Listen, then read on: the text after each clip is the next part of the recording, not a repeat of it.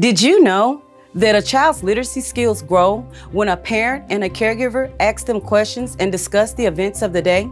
Welcome to Read to Soar Tips. I'm Miss Jamelia. Children love to tell others about their day. Encouraging children to discuss their day helps their vocabulary grow and strengthens the bond between a parent or a caregiver and the child. Reliving the day also helps a child understand story structure, such as beginning, middle, and end.